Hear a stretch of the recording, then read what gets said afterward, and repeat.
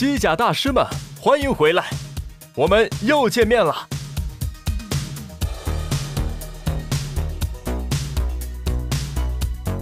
在开始今天内容前，你需要先完成机械臂与机械爪的组装，具体步骤可以参考《工程机器人组装步骤》。完成后，需要在 Robo Master App 中完成机械臂与机械爪的接入，才可以开始使用。首先，我们来接入机械臂。你需要先开启机器人，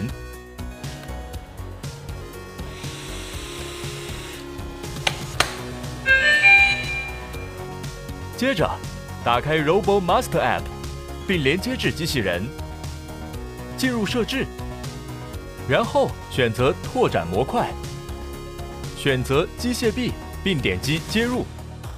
请确保机械臂上两个舵机的线材均未连接至机器人。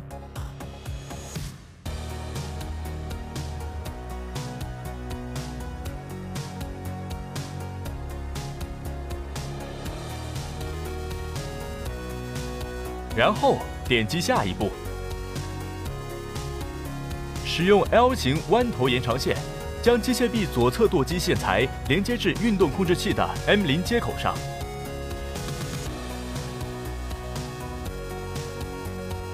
我们可以看到，App 检测到舵机成功接入之后，会显示出下一步按钮，然后点击下一步。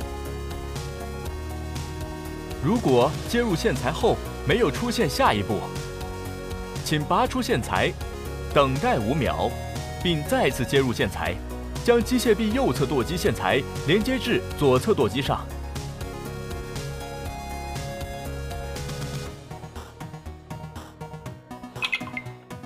当我们在 App 中检测到两舵机成功接入之后，点击下一步。最后，我们还需要对机械臂进行校准，才能正常使用。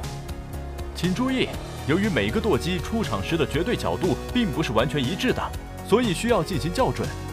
因此，安装成机械臂以后，运动控制器需要有一个参考位置作为基准点，以此来对齐舵机的绝对角度。我们向后转动机械臂一级臂至舵机的线位，然后我们接着向下转动二级臂至舵机线位。然后点击确认校准。当我们完成机械臂接入之后，我们可以在拓展模块页面右侧查看机械臂的状态，包括左右舵机编号以及机械臂的 X 轴、Y 轴坐标。你也可以重新进行校准或拆除机械臂。注意，拆除机械臂之后，机械臂上的两个舵机可作为单独的舵机独立控制。如果你需要更改舵机编号，你也可以在拓展模块页面重新接入舵机。接下来，我们接入机械爪，点击设置，选择拓展模块，并点击接入。接着，我们通过延长线连接至机械爪以及右侧舵机线材。当出现机械爪连接成功的提示时，即表示机械爪连接完成，就是这么简单。你已经完成了连接。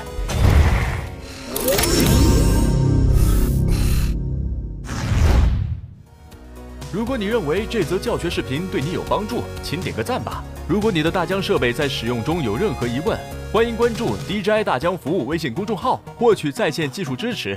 感谢观看。